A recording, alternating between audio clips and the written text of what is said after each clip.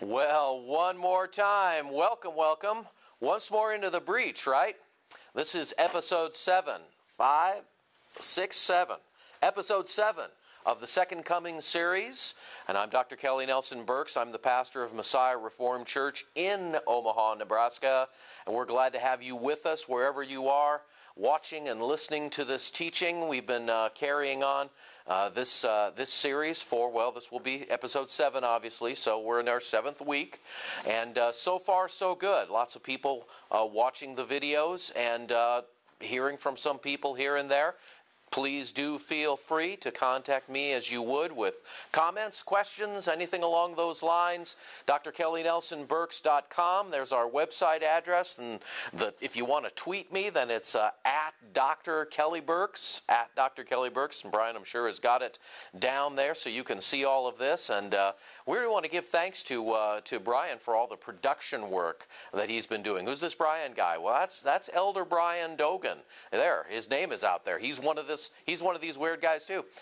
anyway, he's he's doing a lot of work. He's he's the one who's putting all of uh, all of the work and the time and the energy uh, into a lot of a lot of this. Also, brother Frank Sikora, another member of our church, he does a lot of the shooting uh, uh of this, and uh, we're appreciative of uh, the men in this church that chip in and use their gifts and their time and their energy to bring this teaching of the word to you, as well as the folks that that are trepidatious and they come uh, every Tuesday night to sit through this little audience that is here uh, in the sanctuary at Messiah Reformed Church. And we're, uh, we're kind of toughing it out tonight because our heater is not working at the moment here at the church. And so it's a little bit cool. You should see some of these folks in their parkas. And uh, Jen's over here. She's got her wintertime, you know, cap on that's going on right now. She has gloves on and she's got a pen in one hand and she's ready to take notes. She's going to write with these winter gloves on. So that's pretty that's pretty tough right there. All right, so uh, enough of that. Let's jump right back into where we left off. We are in now part two, episode seven, part two of the heavens and the earth. The heavens and the earth. Now, why are we dealing with this? This is a part of what is necessary to understand relative to preterism, which, of course, as the, by this time you know, means that which is past in the past, comes from the Latin preter, past uh, in history. And that's what we're referring to when we refer to this eschatological understanding of what the Bible means by what it says in regards to the arena of prophecy. How that all, all prophecy relative to the second coming of Christ, relative to the resurrection and the judgments, had its fulfillment within the first century. That's right, you heard me right the first century from AD 66 to AD 70 there in Jerusalem with the uh, uh, attack upon Jerusalem as the Lord Jesus prophesied that it would be uh, by, uh, by the armies of Rome and the 10 army confederacy of the various empires that were under, uh, the various nations, I should say, that were under control of Rome then and fulfilled and, and uh, historically uh, uh, uh, rectified and recorded for us by men like uh, the Roman historian Tacitus, by the Jewish historian Josephus, and men like that, as well as other works here and there that have been written since the beginning of that period and then throughout the last 2,000 years. A lot of people are not aware of this because of dispensationalism. Dispensationalism coming in just after uh, the beginning of the early 1900s, uh, brought over here from Scotland by John Darby and popularized by, by C.I. Scofield in the Scofield Reference Bible, and so much has taken on a life of itself, and so there's very little understanding out there about this historical biblical position known as preterism. Now, there's different kinds of preterists out there today. Um, you've got you've got idealist preterists, you've got partial preterists. I myself, I just just refer to myself as a preterist. Uh, I just I just believe that these things are in the past because the Lord Jesus said they would be in the past. And of course, if you've been a good student and you've been listening to all of these uh, uh, episodes from the first one all the way up to this point, you've already had a ton of biblical teaching in regards to Christ's teaching on the timing and the meaning of what it meant for him to come back in his second coming, or as the New Testament uses the word, his parousia, his presence, um, and uh, you've had all of that already, as well as some other things. So, this area of the heavens and the earth now, we started uh, the first part, obviously, last week in episode 6. And if you have not uh, gone through episode six and you're right here on episode seven, that's no good. You need to stop and you need to go listen to episode and watch episode seven that deals with part one of the heavens and the earth. Now, we opened up last week talking to you out of Second Peter, the third chapter, in regards to this concept of the heavens and the earth. I'm not going over there right now. We did a little bit of a cursory overview of that last week, and if we have time, I'll do a little bit more detail in it tonight at the end, towards the end of our teaching. But we opened up with 2 Peter 3. We talked verses 1 and 2, where the scoffers were scoffing at the apostolic teaching of the first century, saying, Where is the promise of his coming? Coming is the Greek word parousia, an arrival with a consequential presence. And these people were scoffing at this because, now why were they scoffing at it? Because that's what the apostles and what the first century church were teaching, that Christ would be back in that first century generation mm, before the destruction and at least at the destruction of the temple because in the Olivet Discourse the Lord Jesus taught that that was going to be the earthly sign of his second coming his parousia the destruction of the temple. And we're trying to get through a lot of this foundational material so we can actually take you through a verse by verse teaching of Matthew 24 the Olivet Discourse. But Peter starts off that way in the third chapter of Second Peter, and then he moves into the fact uh, that uh, he begins to defend the fact that this is what they have taught. This is what has always been taught in the first century, in the first century, and he begins to speak about how that the heavens are going to be on fire, the earth is going to melt, and the elements in verse 10 and verse 12 of the third chapter of uh, Second Peter, that those things were going to melt and um, using the phrase heavens and earth and the idea of the word elements, which I'll come back to, which I talked about uh, last week.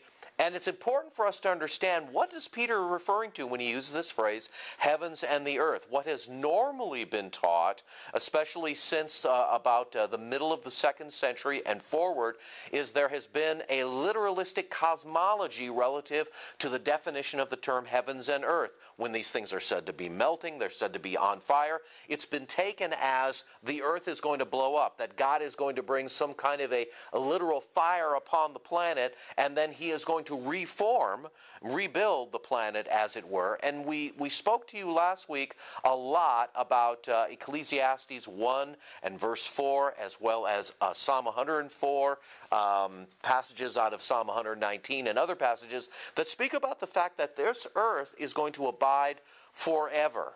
Uh, and so it's not going anywhere. Um, uh, so we opened up last week talking a lot about that. And then I took you into some Old Testament passages, took you all the way back to Genesis, the first chapter, and then, and then Genesis, the second chapter, verse 1, verse 2, where he talks about the fact that the heavens and the earth, Genesis 2 1, were completed uh, in that day and all of their hosts. So we've got in the first chapter of Genesis, we've got this six day scenario where the physical planet is being completed and yes, the heavens and the earth in contexts, certain contexts, are, but not all the time, but are in some contexts referring to the physicality of the, of the brute creation, the inanimate objects of creation, the earth, the sky, the rocks, the dirt, the plants, and that kind of a thing but that there are many other passages that use the phrase heaven and earth to talk about things like the foundation of one's religion, a culture group's religion,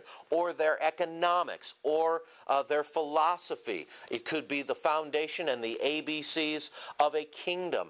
Um, we pointed out to you in certain passages where the term heavens and earth, especially as Moses uses the term, and we're going to get back into him tonight where he talks about the heavens and the earth as being that which is to be understood as God's covenant with his people. Could be the Abrahamic covenant, could be in reference to the Mosaic covenant, aspects of the law. And we even read to you last week out of secondary sources like the historian Josephus, who uses the phrase heavens and earth to actually talk about how that the temple in first century Judaism was referred to as the Jews' heavens and earth. And we talked to you about the fact that just like we have slang in our society that uh, we don't mean to take literally, but immediately it's understood what we're talking about. So the Jews had a type of a slang, and it was carried over from the Old Testament prophets into the first century. Jesus and the apostles, when they did their teaching and then wrote the Gospels and then some of the epistles therein use this terminology, oftentimes speaking to Jews who would understand it themselves, and we have taken it, and through this loss of Jewish hermeneutical understanding, that's, that's method of interpretation, because there's been such a loss of that from the second century onward with the coming of these, this what, we, uh, what historians refer to as the postponement theory. Kurt Aland, in his History of Christianity, refers to this as the postponement theory, that with that, because there has been a loss of Jewish understanding uh, within the church from the second century forward, there has come this literalistic cosmology that has crept into the church from a Greco Roman pedagogical system, a school of instruction system, which treats everything as literal. So when you talk about the sun, moon, and the stars, you talk about the heavens and the earth, these phrases, which are packed with meaning within the Old Testament Jewish understanding of the scriptures,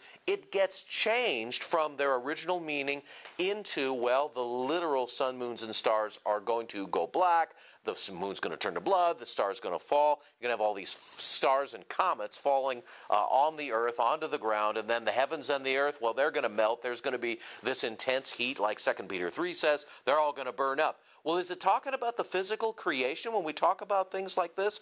I mentioned to you last week that Genesis 37, verses 9 and 10, which is the first occurrence of the phrase the sun, moon, and stars, that that actual occurrence has to do with the nation of Israel, the nation of Israel. And it's used that way relative to uh, nationalism uh, throughout the Old Testament. And, but primarily it's used in regards to uh, a reference to the nation of Israel. And it's not to be understood in some sort of a literalistic cosmology in any way, shape, or form. Now, like I said, there are some places where the heavens and the earth does refer to the physicality of the creation. Certainly the very first occurrence of it, Genesis 1 1, in the beginning God created the heavens and the earth. And then you get this litany of day one, day two, day three, day four, all the way through day six. And of course, day seven is the Old Covenant Sabbath. God rested, and the Old Covenant Sabbath has to do with recognizing the completion of God's physical creation. But on the sixth day of God's creation, we discovered last week in Genesis 1, starting uh, verse uh, 24, 25, 26, that area right in there, that on that sixth day, not only was man created, but man was also given work to do. Man was given uh, a covenant by God for him to take God's creation and rule over it. There was rulership under God's hand. And that is a part, rulership and order is uh, man ruling because he's made in the image of God, ruling under God's authority over his creation.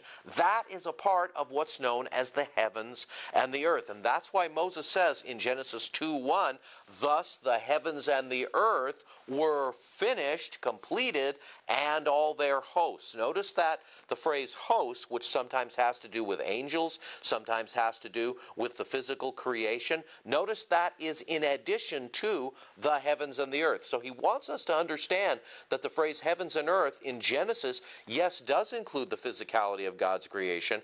However, when it comes to man and man's heavens and earth, his order and his rulership of the of the planet and uh, uh, God's creation of uh, the, the, the creatures in the sea, the land animals, and this sort of a thing, that that has to do with the phrase the heavens and earth. And so we took that and we began to stroll through passages in Isaiah. Isaiah 51, for instance, Isaiah 65, which talks about a new heavens and a new earth, and Isaiah 51, 50 and 51, which talk, actually I should say 51, verse 4, verse 5, verse 6 as well as other passages in Isaiah 51, that where God talks about that the speaking forth of his word is the heavens and the earth that gets planted upon this earth. And it's a, ref, a reference, heavens and earth is a reference to God uh, speaking forth his word and his covenant amongst his people, and God refers to it as a heavens and an earth. And that's out of, uh, out of uh, Isaiah 51, verses 4 and 6, as well as verse 16 in Isaiah 51. And so we took you through several of those passages last time. Then we took you through some various secondary sources, like I began to tell you. Josephus, we read from his history, and how that the Jews understood that the heavens and the earth was a reference to the temple and all that went on inside of that. Gives us insight to understand that in Matthew 24, at the end, actually it's midway point through the chapter, but as Jesus is concluding his reference to the Olivet Discourse with the destruction of the temple, that he summarizes it as the heavens and the earth would pass away, but my words will not pass away. Remember that? What was Jesus talking about? He was talking about the same thing Josephus was talking about in the first century, making reference to the temple. Not the physical creation that would pass away, but that the temple would pass away. Now, why is this kind of information important in regards to understanding biblical preterism and the eschatology of the New Testament? It's important because we have to understand that Jesus was summarizing all of these things and making them happen, saying they would happen within the first century between 80, 66, and 70 when the temple would in fact be destroyed. And so Jesus' second coming is directly linked up, according to Matthew uh, 24, verse 30, verse 31, verse 32, all the way down through 35 right there. It's all talking about the passing of the heavens and the earth coinciding with his second coming. And that's the only second coming uh, that there is. Then we also took you through some other secondary sources, like uh, Joshua Berman's book on the temple, where he refers to the fact that the Jews refer to the building up of the temple as the heavens and the earth. We took you into Abraham Cohen's book, Every Man's Talmud, to back that up as well. And then also Moses Maimonides, who wrote uh, in the year early 1000s, and he was a Jewish uh, scholar, and he wrote in his book Guide for the Perplexed. And I, I, don't think I gave you that title last week. I just read out of the book, but the title of the book is called A Guide for the Perplexed. I believe you can get a copy. You might you might be able to get it off of Amazon. I'm not entirely sure, but he goes into the carrying on of that exact same. And these guys aren't aren't Christians. You know, they don't have an axe to grind in trying to prove that the historical Jesus of Nazareth Nazareth was the Messiah and that he told the truth in regards to his second coming, that it would happen in the first century, but rather they're showing us that according to Jewish understanding, theologies, hermeneutics that were passed on through the generations, that, that these things about the heavens and the earth were in fact referring to the temple and the things of the temple, the things of the covenant, which is exactly, by the way, what Peter was talking about in 2 Peter, the third chapter. And so, what I would like to do tonight is I would like to pick up now, finishing up, this will be part two of the heavens and the earth, give you a little bit of further information in regards to the Old Testament teaching on the phrase the heavens and the earth. And then I want to spend a little bit of time, it won't take very long actually, I want to read to you uh, yet uh, another um, older commentary, but this time it's in uh, the Reformed camp. I want to read to you uh, a portion out of a sermon by John Owen, who was probably uh, and, and normally I don't talk this way about uh, about other other men from the past. I think we do too much, probably a little too too much with that. But this man, John Owen, um, there probably wasn't a brain like him anywhere. Hasn't been since. And uh, if you have the opportunity to pick up uh, John Owen's works, which are 16 volumes, you should do that and begin to go through uh, those things. There is a, a, an index in the 16th uh, in the 16th. Um, uh, volume, volume number 16. So if you want to go through various subjects that he covers, you can do that. I want to take you through a portion of his sermon out of 2 Peter, the third chapter, where you can hear from a, a man in the Reformed camp, Orthodox Reformed man, who speaks about Peter's use of the heavens and the earth the same way I've been talking to you about this, in the same way the ancient Jewish writers talked about this. And he talks about the fact that the heavens and earth, not the cosmological literalness, was going to blow up or melt or be on fire, but it's about the temple being destroyed. It's about the covenant, the old covenant being destroyed that was represented by the temple in the first century, and that that lines up with the second coming of Christ. We'll look at that, and then I want to take you into um, the uh, the New Testament passages that deal with Jesus' own use, by the way, of the term heavens and earth. Maybe a little bit out of Hebrews, and then if we have time, uh, a little bit more into 2 Peter, the third chapter. So, what I'd like to do right now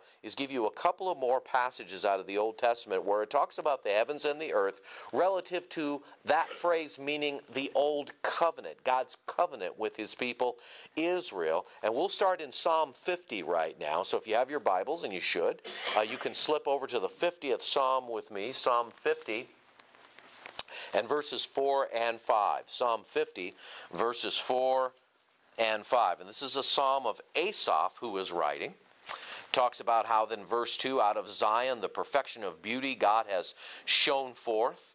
He speaks about God coming and not keeping silence in verse 3, how that a fire devours before him, and it is very tempestuous around him. And then he says this in verse 4 and 5 of Psalm 50. Quote, he, God, summons the heavens above and the earth to judge his people. So he's calling on the heavens and the earth to judge his people. And then in verse 5, we get a definition of what the heavens and the earth are that he's talking about in verse 4. Look at verse 5. He says, Gather my godly ones to me, those who have made a covenant with me by sacrifice. And then verse 6 and the heavens declare his righteousness, for God himself is judge.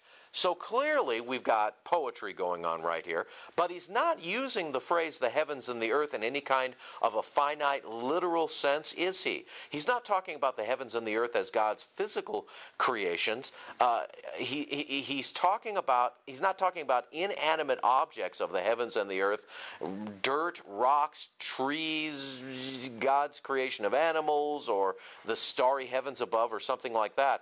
Rather, he says, the heavens and the earth are being summoned in verse 4 as he speaks to his people. And it's for the purpose of what? At the bottom of verse 7 to judge his people, the heavens and the earth, to judge his people. What could that be? What kind of a what kind of a um, of a of a thing that he's calling the heavens and the earth would judge his peoples? It would have to be something that has been established that they could understand intellectually and then he gets into it in verse 5. He says, Gather my godly ones, that's my saints, his people, which is pointing to the bottom of verse 4. Gather my godly ones to me, those who have made a covenant with me by sacrifice, and the heavens declare his righteousness. Right?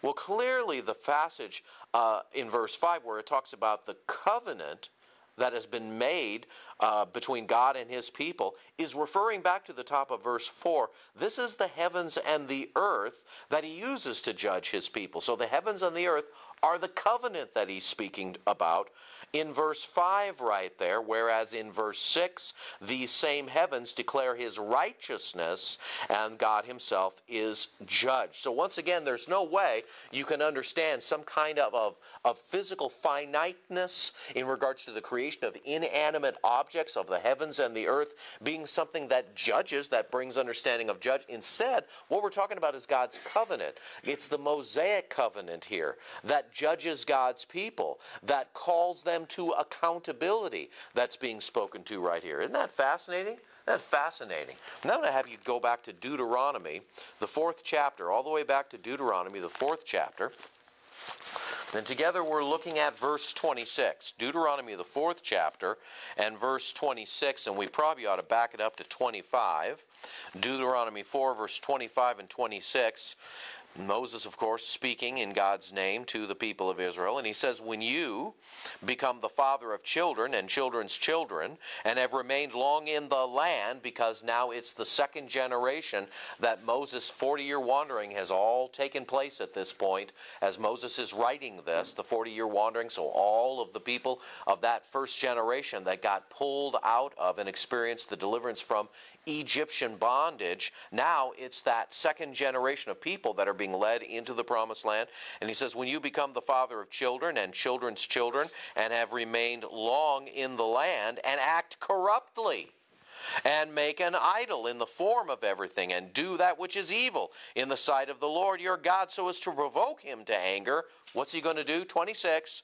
I call heaven and earth to witness against you today that you will surely perish quickly from the land where you are going over the Jordan to possess it. You shall not live long on it, but you will be utterly destroyed. And he goes on to talk about how they will be scattered among many peoples, among the nations, that there they will serve other gods. And that's, a, that's something that is repeated amongst the prophets as the northern kingdom gets thrown into Assyrian bondage, and then they're prophesied that they will be thrown amongst the nations. Uh, the southern kingdom will, will get similar language like that, except they will be thrown not amongst the nations per se, like the northern kingdom, but into the nation relative to Babylon. And then when Babylon is taken over by the Medes and the Persians, and then by the Greeks and so on and so forth, that they will deal with that, the southern kingdom. But notice at the top of 26 that when they start falling into sin, God calls the heavens and the earth to witness against them this day.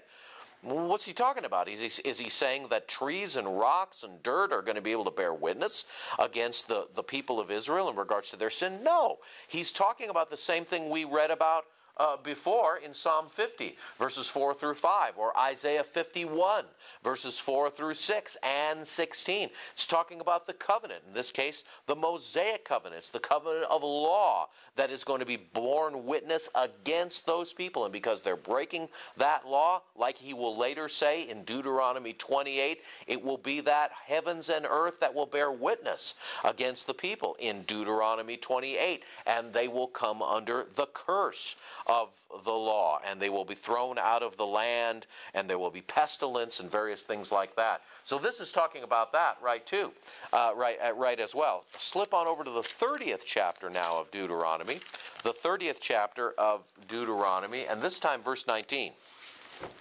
Deuteronomy 30 and verse 19. And he is speaking along the same lines. He is, he is calling the people to choose life he says it in verse 15 of Deuteronomy 30. Deuteronomy 30, 15, he says, I have set before you today life uh, and prosperity, or death and adversity. I command you today to, to love the Lord your God, walk in his ways, keep his commandments, that you might live and multiply in the land. And then 17, but if your heart turns away, you won't obey, drawn after uh, and to the worshiping of other gods and serve them. He says in 18, I declare to you today that you will surely perish. You will not prolong your days in the land where you are crossing the Jordan to enter and possess it. Now 19, I call heaven and earth to witness against you today and that I have set before you life and death, blessing and cursing. So choose life in order that you may live, you and your descendants, and so on, he talks about. So once again, it's, it's similar to Deuteronomy, the fourth chapter, and verse 26, where we just read. Now he's saying it in Deuteronomy 30. He's calling heaven and earth. Well, what's he doing? To witness against them? Well, what, uh, once again, he's calling the heavens and the earth, the Mosaic covenant, to witness against these people that if they're going for other gods and breaking God's law, breaking his heaven and his earth, that they will pay the price for it. Very similar to what he had spoken earlier here in Deuteronomy the 28th chapter. Finally, in Deuteronomy 32, one more of these. Deuteronomy 32 now, and verse 1. Deuteronomy 32, verses 1 through 2, actually, where he says, Give ear now. This is the song of Moses. Moses is speaking.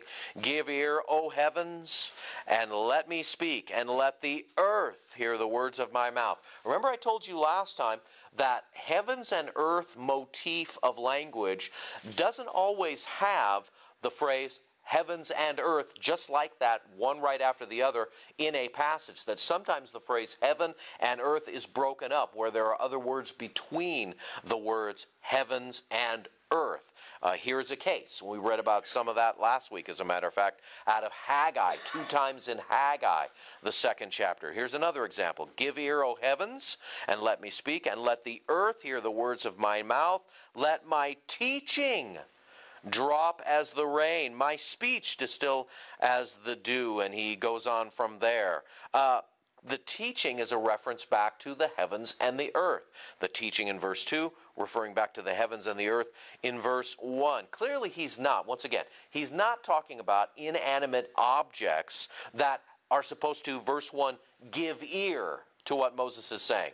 The rocks and the trees and the dirt and that kind, they don't have any ability to give ear to Moses. What's he talking about here? He's calling on the testimony of the covenant. He's talk, calling on the testimony of the Mosaic law and the law standards to bear witness against the people, to give ear to what he is about to say. The heavens and the earth, the law is what is supposed to be bearing witness and giving ear to what he's about to say to these people, calling them into accountability and responsibility for the way that they will live and what they will believe relative to the the heavens and the earth. So these are very important passages, and they all link up together with what we talked about last week in other passages, uh, like in Isaiah 13, like in Haggai 2, verses 6 through 7, and Haggai 2, uh, verses 21 through 22. So these are important passages for us to remember. So, having done all of that, now that's the Old Testament. That's what I want to give you out of the Old Testament, uh, linking up with last week and now and now today. So now let's do this. Last week I read to you uh, some very important passages out of secondary sources that understood this type of language. And we validated and verified that this language is not something that's just hid somewhere, but that it was normal amongst uh, Jewish writers from the first century all the way up uh, to uh, the early 1000s with Moses Maimonides and brought it all the way up into modern times with Joshua Berman, who was a Jew, I believe he's still alive, who wrote the book The Temple. And he talked about how that, I, uh, that uh, Moses called Bezalel, who was one of the gifted individuals who would, who would construct the furniture of the tabernacle and the insides of the, uh, the tabernacle, and that it was understood that Bezalel, he said, knew how to construct the heavens and the earth. Again, underscoring for us Josephus's uh, first century understanding, giving to us the normal understanding of the phrase heavens and earth as being a part of the temple. So I mean, I mean, my gosh, uh, it really amplifies the fact that when Jesus is talking about uh, the the temple being destroyed and tying that in together with his second coming, and when he says the heavens and the earth are going to pass away, as he's speaking to uh, the four disciples on the Mount of Olives, you can almost get that, just that intense picture of Jesus possibly. And see, the, uh, the Mount of Olives was, was just on the east side uh, of the temple proper, and you could get a great view of the temple from uh, the Mount of Olives. And as Jesus is talking about the destruction of that temple, you could almost see him maybe perhaps wave his arm towards the temple as he says, The heavens and earth would pass away. That's temporary. But my words would not pass away. Christ's words are eternal. That really changes things in regards to your understanding of the meaning of the Olivet Discourse, doesn't it? Well, sure it does. Now, we're not the only ones that see it that way, but historically in the church there have been other uh, uh, sharp men uh, whom God has raised up to understand things in that way. And I want to read you a little bit out of John Owen's uh, ninth volume ninth volume here, out of the 16th volume, about uh, his sermon on uh, 2 Peter, the third chapter, where he talks about the meanings of the heavens uh, and the earth. And uh, we'll be moving, just, just won't take very long, but we'll be moving starting at verse 133, oh, to at least 135, he talks about this. He speaks about observing the fact uh, that uh, he doesn't want to spend a lot of time with all the difficulties of these verses. Um, he says he doesn't want to be too long, detaining from his principal uh, intention uh, that the apostle makes a distribution of the world into the heavens and the earth and says that they, quote, were destroyed with water and perished. Now he says this in the middle of page 133, volume 16, in his sermon on 2 Peter, the third chapter.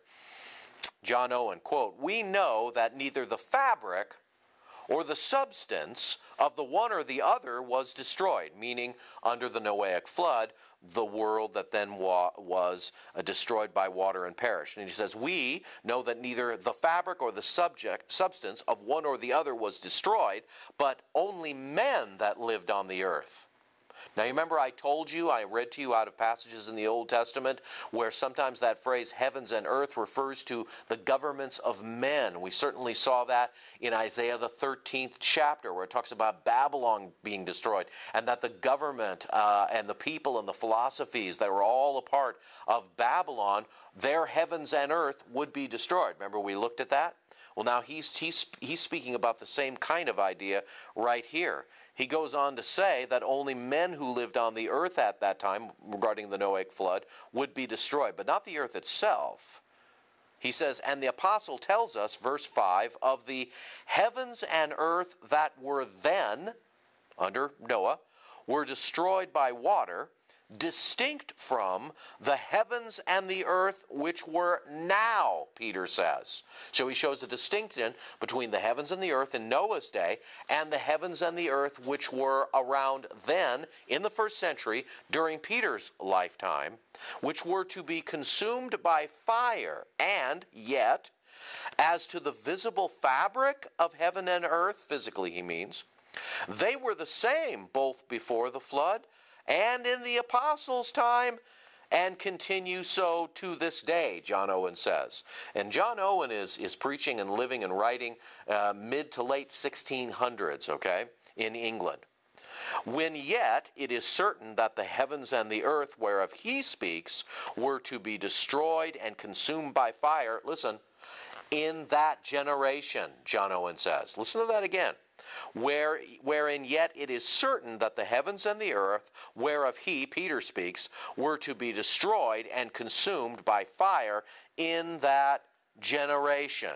We must then, for the clearing of our foundation, uh, a little consider what the apostle attends, intends by the phrase, the heavens and the earth uh, in two places. You, have got to understand that uh, the way they wrote back then, uh, they were intense linguists, and so uh, lots of verbiage took place. They took great pains to communicate, and, and the intellect, intellectual involvement in regards to spiritual things was incredibly high during the Reformation period. I told you that the works of John Owen are, are covering uh, 16 volumes in his, in his works, and a lot of these Reformed and Puritan guys, you know, they have massive volumes of their own works. Thomas Goodwin and uh, Richard Sibbes, uh, uh, so many of them. I have several of their of their of their works in, in my library. See, they weren't distracted by TV. They weren't distracted by apps on your phone. They weren't distracted by your Kindle Fire and downloading movies and the internet and TV shows and things like that. Um, they were very serious about their spirituality. There was no radio, there was no phone, there was nothing distracting them.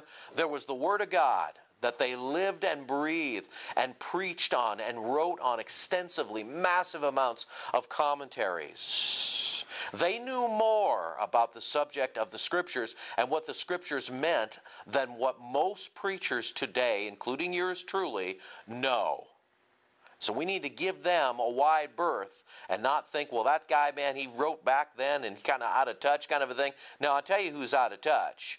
Who's out of touch are, is, the, is the, the church of the Lord Jesus, especially in regards to their theology and their eschatology over the last 100 years. We're the ones that have been out of touch, and we're the ones who need to stand on the shoulders of, of uh, the theology of dead guys like John Owen and get it back together in regards to what the Bible always meant by what it says. So let's continue a little bit further. John Owen continues in regards to this teaching of what the heavens and the earth meant in Peter eh, in 2 Peter the 3rd chapter. He says, quote, "It is certain that by the flood the world or the fabric of heaven and earth was not destroyed, but only the inhabitants of that world."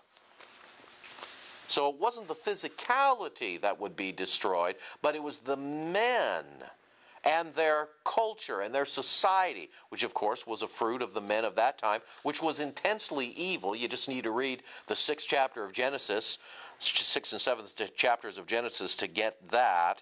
And so he goes on to say, then we must consider in what sense men living in the world are said to be the world and the heavens and the earth of it. He says, I shall only insist on one instance to this purpose. Among many, in other words, he's saying I could go to a lot of different scriptures, but I'm just going to show you one in particular to prove my point. Isn't it something that I've got to I got to bring it down into everyday English because these guys you knew how to use English and and we don't, not like they did. He says, I'll insist on only one instance to this purpose among many that may be produced. And then he says, Isaiah he says Isaiah 51, verses 15 and 16, which is exactly what I've been showing you last week, and I've mentioned it to you today. He continues to say, The time when the work here mentioned of the planting of the heavens and laying the foundation of the earth was performed by God was when he, quote, divided the sea, close quote, verse 15, and gave the law, verse 16. He's talking about Isaiah 51, verses 15 and 16, and said to Zion, quote, Thou art my people, close quote. That is, when he took the children of Israel out of Egypt and formed them in the wilderness into a church and state, then he planted the heavens and laid the foundation of the earth and made the new world their world. That is, he brought forth order, government, and beauty from the confusion wherein before they were. He says, This is the planting of the heavens and the laying of the foundation of the earth in the world. And hence it is that when mention is made of the destruction of a state and government, it is in that language that seems to set forth the end of the world. And he goes on to say, and in our Savior Christ's prediction of the destruction of Jerusalem in Matthew 24. He sets it out by expressions of the same importance. In other words, he uses the same terminology as what Dr. Owen is saying right here. He goes on to say, It is evident then that in the prophetical idiom and manner of speech by, quote, the heavens and the earth, close quote, the civil and religious state and combination of men in the world and the men of them are often understood. So were the heavens and the earth, that world which then was destroyed by the flood.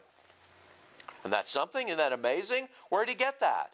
Well, the man was a student of Scripture, and he had access to the way the Jews used this terminology, and he understood that when Peter, a Jew, writing to other Jews, used this terminology, he meant their old Jewish heavens and earth, the Mosaic, Mosaic state of things relative to the temple. And he goes on talking about that. I'm sort of picking and choosing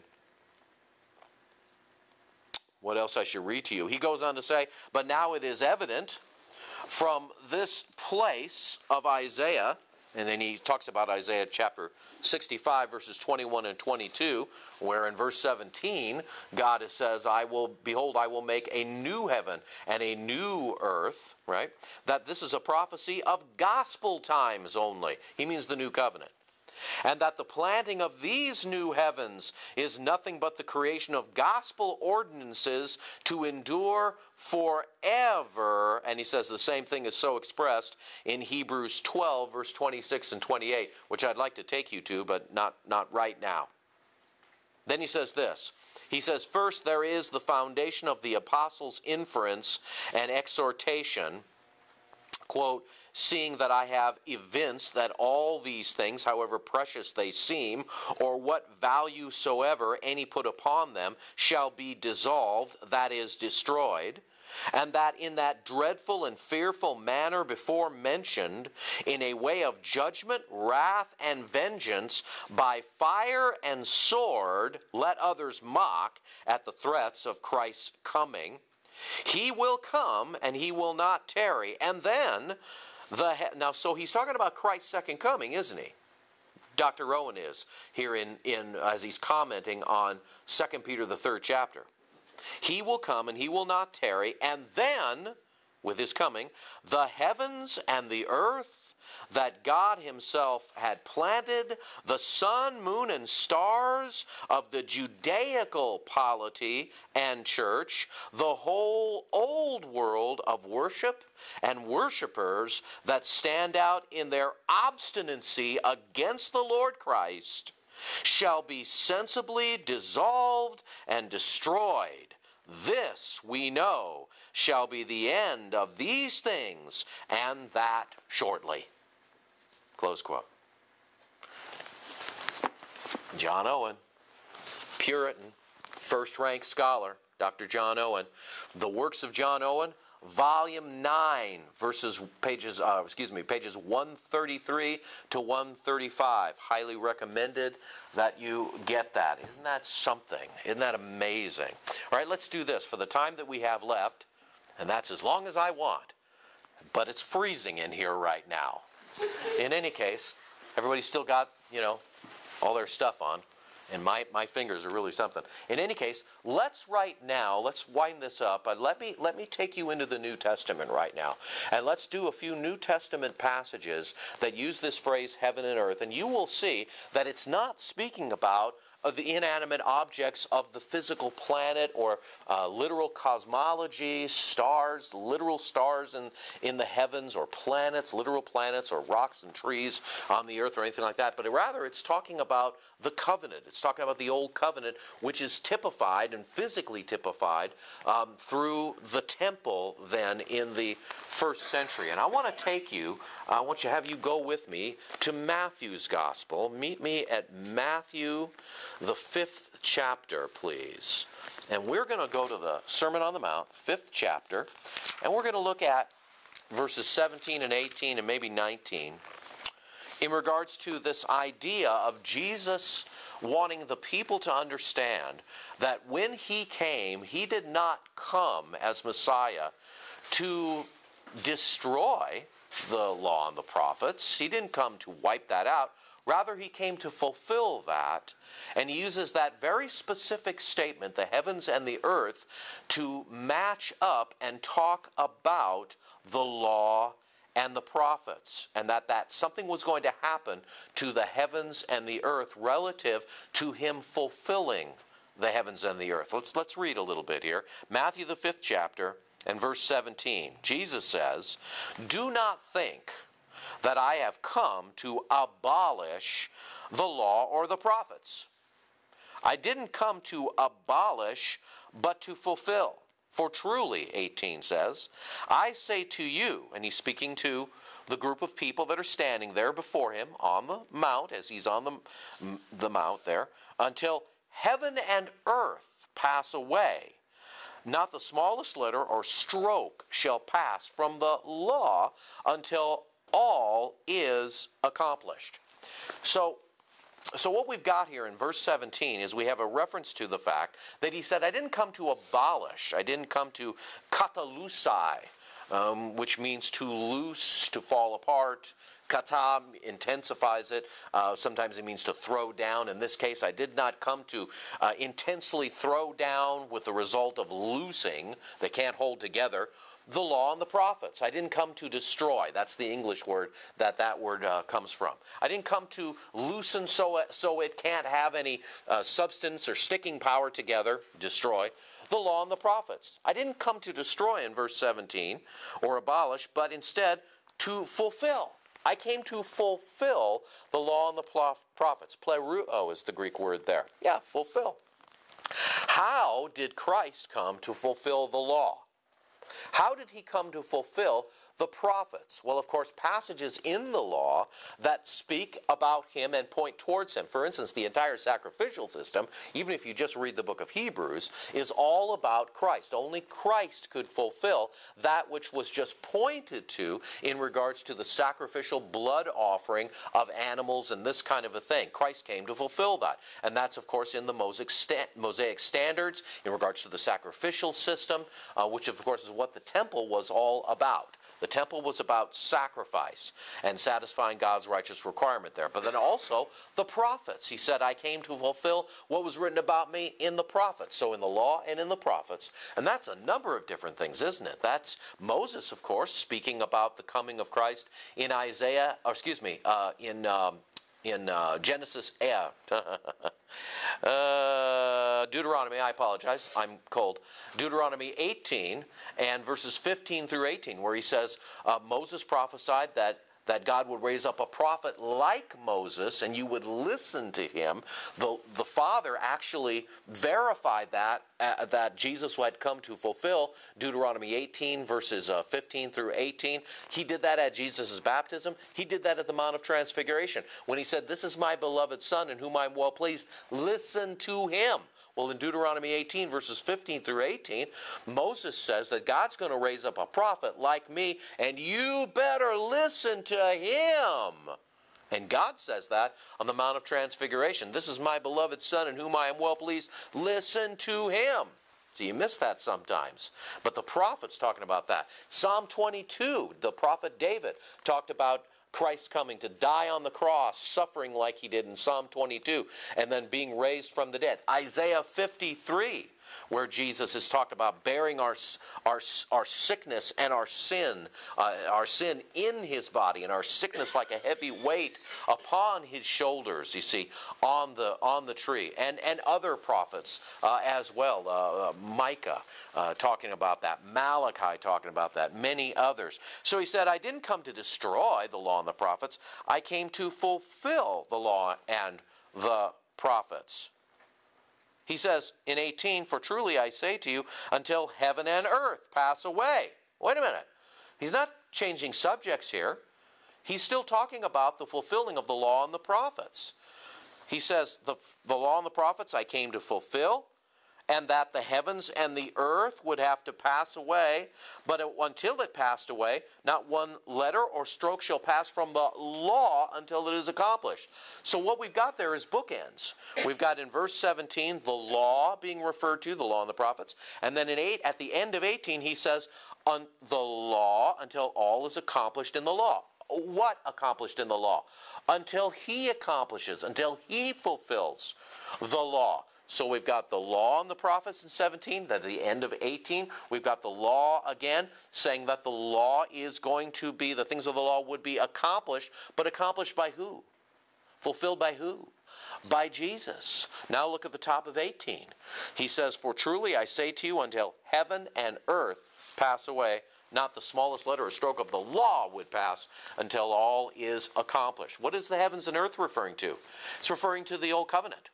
It's referring to exactly what he said in, in 17. It's the law and the prophets. It's exactly what he said at the bottom of 18. It's the law that has to be fulfilled, that has to be accomplished. Are you aware? Are you aware that on the cross, the Lord Jesus himself and the writers of the Gospels verified that Christ was fulfilling the law and the prophets, the old heavens and the earth, the old covenant, on the cross. Let's see it. John, the 19th chapter.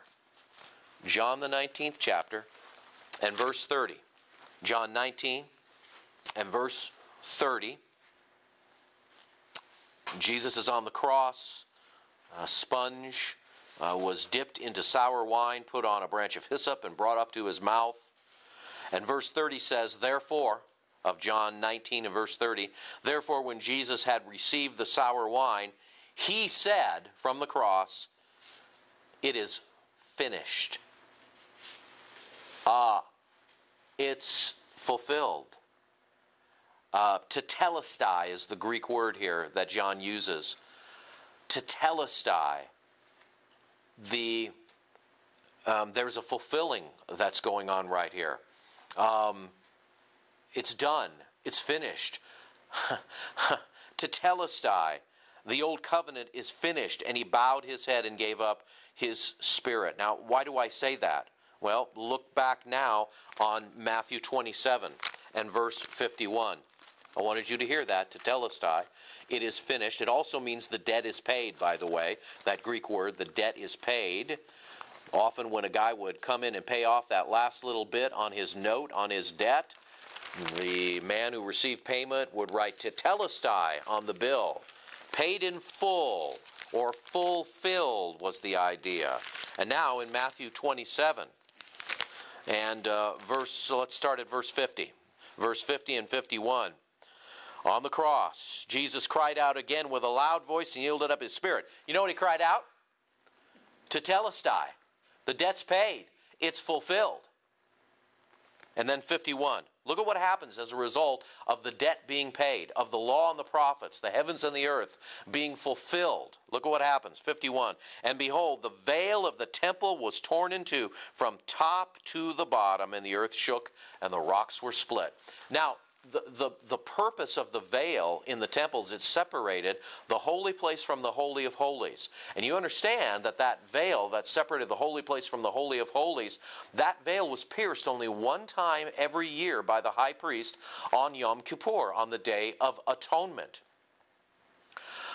The centerpiece of all Israel and all of the work of, of satisfaction through animal blood sacrifices that went on, which God never desired, by the way, according to Psalm uh, 40. God never desired that, according to Psalm 40, and repeated by him in Hebrews, the 10th chapter. But the, the centerpiece, the entire point of the entire temple, was what was just beyond that veil in the Holy of Holies. That's where the priest, of course, would meet with God once a year and he would pierce that veil and he would take uh, the, the blood of the animal sacrifice and sprinkle it seven times on top of uh, uh, uh, the ark. And on top of the ark was known as the mercy seat, the alaisterion. That means propitiation. It was called mercy seat, but it was known as the elasterion, propitiation, substitute. Jesus was our substitute. That's why passages in Romans and Hebrews and 1 John refer to Jesus as our elasterion. He is our propitiation. He is our satisfactory substitute. See? And then on the Day of Atonement, the high priest would go in and sprinkle the blood seven times on there and satisfy God's righteous requirement for the nation of Israel for that year. But because it was animal blood, it was only temporary. It had to be repeated again and again and again. Only Christ's blood is not repeated. Once did he satisfy God's righteous requirement for us on the cross. And so, when God then says, as Jesus said in Matthew 5, verses 17 and 18 I didn't come to destroy the law and the prophets. I came to fulfill, because until heaven and earth pass away, not one jot or tittle, the old covenant, not one jot or tittle of the law would pass until all of it is fulfilled. Well, in John 19, verse 30, he says, to Tetelestai, it's fulfilled. The debt is paid. It's finished. And then Matthew tells us in Matthew 27, 51, that physically, when Jesus said that and he gave up his spirit, God was satisfied. The propitiation was made for all those who would believe on him. That the temple, now that veil in the temple was no longer necessary. God rent it himself from top to the bottom. What's he saying? He's saying, All those who believe in me, come. Come to me. Now the debt is paid. There is no dividing veil between us. It's all over with. In other words, all of the law and all of the prophets concerning Christ was fulfilled at that moment. There didn't have to be one more animal sacrifice. Not one more feast needed to be fulfilled. Not one jot, not one little tittle of the law needed to be fulfilled in any way, shape, or form. God was satisfied because his Son provided the absolute absolute substitute satisfying God's righteous requirement. If you're not a, a preterist, guess what you just missed out on? That's right. Do you remember back in the first two installments of this, I spoke to you out of the ninth chapter of Hebrews. We're not going to go there right now. Verses 24 down through 28, where the writer there talks about how that the high priest would function in such a way that Jesus came to fulfill that position of the high priest and with his own blood would go in. The high priest would, like the writer of the Hebrews said in Hebrews 9, verse 24 through 28, the high priest would, would go into the holy place and then have to come out a second time and appear before the people that he had just sacrificed the animal for. He had to come back the second time, had to come back the second time to the same people he sacrificed for. When did Jesus sacrifice himself? In the year 2000? 2013? in the first century, he came back to the same generation. This generation will not pass until all things will be fulfilled, he said in Matthew 24. And the high priest comes back the second time so that his appearance would verify that God accepted the sacrifice for yet another year. Jesus comes back to the exact same generation, like he said he would, to the temple and not only shows in his second coming that God had received and was satisfied with his sacrifice, but then he destroys the temple, the old covenant means of animal sacrifice once and for all, because it is not only unnecessary, but it's a blasphemy for that to continue to go on in light of the fact that he had finished the work on the cross. When he cried in John 19:30 tetelestai, it is finished, there was nothing left to do. It is finished. That's why in the book of Hebrews, Jesus as opposed to the old covenant prophets, Jesus sits down at the right hand of the Father. Because there's nothing left to do. But in the old covenant, there was no chair in the holy place, or let alone in the Holy of Holies, because the work of sacrifice was never done. But Jesus comes and he sits down. That's why Hebrews 9, 24 through 28, especially verse 28, says that Jesus will, for those who look for him, he would come back, return the second time, like the old covenant pro, uh, high priest would have to do. Jesus would come back the second time, not to deal with sin, but to bring salvation. He comes back to ratify and verify that salvation has been achieved. And it happened in AD 70. Why do you want to be a futurist? Why do you want to think Jesus is still coming back? What kind of effect does that have on your understanding of your salvation? That has a critical effect on it, doesn't it? Now, listen to me. I always have to say this. I am not saying that if you don't believe Jesus came back in his second coming AD 70 that you're not saved. I am not saying that. I am saying, however, that that's what the Bible teaches, that the salvation program was ratified. Jesus did the finished satisfactory work of propitiation on the cross 40 years earlier. God says, I accepted that sacrifice by raising him from the dead on the third day, physically, tangibly, and absolutely. Romans 4:25 says that through the resurrection we are justified. But Jesus had to come back the second time to fulfill the old covenant high priest picture of the priest on the day of atonement coming out of the holy of holies out of the temple the second time he had to come back the second time so the people would see him he came the first time, he goes in, he's got to come back the second time so the people see him. And Jesus taught in Matthew, the 24th chapter, that what would be seen of him coming back the second time, the earthly scene of that, the validation of that on the earth, would be the physical destruction of the temple. God has destroyed that temple so that none of that gets repeated.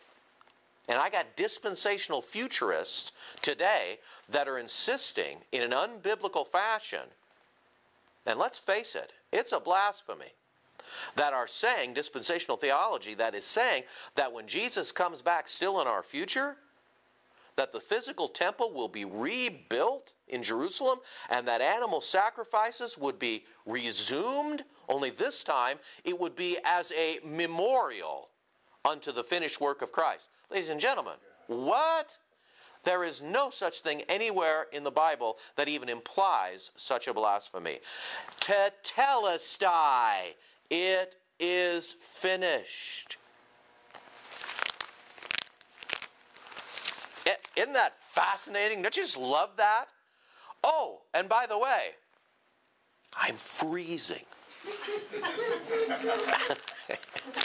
in, in Luke's gospel, Jesus says to the boys on the day of his resurrection, you got to see this. In Luke's gospel, Luke the 24th chapter, and verse 44, watch this, because I'm winding this up now. I, am winding this up. in Luke's Gospel, the 24th chapter, verse 44, Jesus has just appeared on, on Resurrection Sunday, on the first of the Sabbaths, the Meonton Sabbaton, because that's what all the gospel accounts say in the Greek text of all the gospel accounts when it talks about the day he was raised. That day is referred to as the Meonton Sabbaton, the first of the Sabbaths. Not an Old Covenant Sabbath, New Covenant Sabbath, where we rest in the finished work of Christ. Okay. And he comes to them on that day, verse 44, and he says to them, These are my words. Listen to this. These are my words which I spoke to you while I was still with you, that all things which are written about me in the law of Moses and the prophets and the Psalms must be fulfilled. What, what's he referring to? Well, he's referring to Matthew 5, 17, and 18. That's what he's referring to. He says, Don't think that I came to destroy the law and the prophets. I didn't come to destroy, I came to fulfill because until heaven and earth pass away, the old covenant passes away. Not one jot or tittle of the law will pass till it's all fulfilled. Only Christ could fulfill it. And now in Luke 24 44, that's precisely what he's referring to. When he says to them, These are my words which I spoke to you, he's referring back to Matthew 5 17 and 18. While I was with you, that the law all that was written about me in the law, the prophets, and the Psalms must be fulfilled. And then he had to open their minds to understand the scriptures. Well, I would hope to shout. And he said to them, Thus it is written that Christ would suffer and rise again from the dead on the third day. All that stuff talk about in the law and the prophets and the Psalms. You see, the phrase law and the prophets in Jewish parlance did include the Psalms. Sometimes it would just be the law. That would also sometimes include the prophets and the Psalms. That's the way they spoke. Uh, back then. So here you've got uh, an aspect where he just brings all three together. The law of Moses, the prophets, and the Psalms must be fulfilled. So did he do it? Did he do it? Because part of that fulfillment has to be the rest of what he talked about, and that is the closing down of the salvation program. Isn't that fascinating? I mean, just is like, oh my gosh, are you kidding me? I think that's enough for tonight. Because the next thing I was going to do is take you into 2 Peter, the third chapter. That's going to take me a whole lot longer. But listen, ladies and gentlemen, um, this is the this type of, of information. When we talk about um, our soteriology, which is the subject of the study of salvation. And we bring the subject of the second coming, the parousia of Christ, into it and you, it, hopefully, you've been listening to and watching all of these episodes where we have taken you through the gospel accounts, the accounts of the apostles, the writing of the apostles in the in the epistles, uh, where it, there is a consistent voice about He's coming back in His one and only second coming during that lifetime of some of those who were standing here. Matthew 16 verses 27 and 28, and so many other uh, passages that we've talked about, and then we bring in things like this where the phrase the heavens and earth has got to be respected and understood for what it originally meant. It's talking about, as we have been using it here through these in these passages, as the New Testament and the Old Testament uses it, it's talking about the covenant of God, the Mosaic covenant, the Old covenant. And then Jesus uses that exact same phraseology to talk about the law and the prophets. And then Jesus says in Luke 24 44, I did it. I have fulfilled all that was written about me in the law and the prophets and the Psalms. And we understand that the that the heavens and the earth had to be shut down. The old heavens and the earth had to be shut down. And that's what Peter's talking about. In 2 Peter, the third chapter, he says, Man, I'll tell you what, Jesus comes back just like just like we're expecting him to. Hebrews 9 28. For those who look for him the second time, he will appear not to deal with sin, but to bring salvation. And he's got to come back like the high priest did to the temple, to the same people in the first century whom he sacrificed himself for. And so, consequently, when he does that, Peter talks about that. For Peter, it was in their future because he was writing pre AD 70. And he's saying that old heavens and the earth is going to melt like fire. It's going to burn up. And he's talking about the, te- the temple and the old covenant that it represented.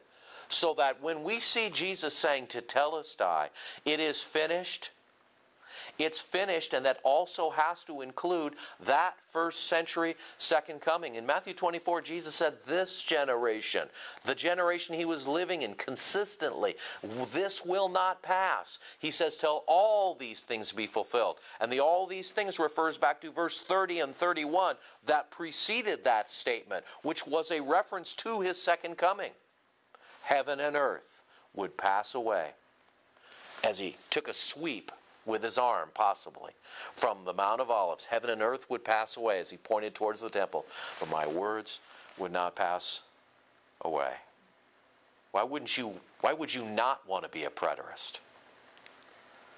Well, episode 8 is coming up next. I'm Dr. Kelly Nelson Birks. Love to hear from you. You can go to uh, our website, drkellynelsonbirks.com, drkellynelsonbirks.com. No period after the DR for doctor, just straight ahead. We have all kinds of uh, things for you to look at media, strong media. You can download uh, lots of different messages that I preach here at Messiah uh, Reformed Church over the years. Also, be aware of uh, getting yourself hooked up onto uh, uh, the subscription channel here on YouTube, where you can see and listen to not only my teachings if you like, or if you're sick of me, you can certainly listen to uh, other good men here in the congregation. The elders uh, preach uh, Elder Bryan Dogan, Elder Tony Floyd, Elder Keith Bernhagen. they're all on there as well, and you can go to Bryan D. That's B R Y A N D. You can subscribe right there, and we have all these things. Uh, he, Bryan's got it all set up in, in categories, and it's easy to view and, and all that. Also, make sure you tweet me. I, I still can't quite. I'm just I just tweet, tweet, tweet. Uh, Dr. Kelly Birks and uh, I'll get that in my in my e-box, email uh, inbox, and I'll respond to some of these. Some of you have been doing that. You know, you've been uh, very kind to go ahead and, and do that. So until next time, give these things serious thought, please. Give these things serious thought, and uh, we'll be here. Hopefully, it'll be warmer tomorrow night at Bible study for our study in John. God bless you. Thanks for joining us. Bye bye.